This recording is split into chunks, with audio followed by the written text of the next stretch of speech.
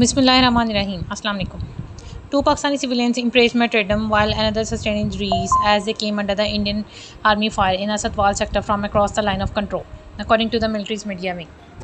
In a statement on Saturday, the Inter-Services Public Relations said Indian Army, in a display of its usual inhuman approach towards innocent Kashmiris, opened indiscriminate fire onto a group of shepherds in Asatwal sector. Resultantly, it said one civilian embraced martyrdom while two others were critically injured. However, later in an update, the ISPR said that toll rose to two as another injured of the Indian fighting succumbed to the injuries.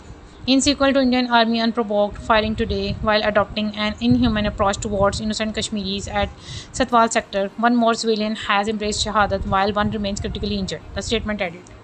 The military's media wing identified the matrays as Ubaid Qayyum, son of Muhammad Qayyum, aged 22 years, and Muhammad Qasim, son of Muhammad Deen, aged 55 years. Both the matrays are resident of village Baradari, Tatri North of Tehsil Hajira in district Poonch, the ISPR said.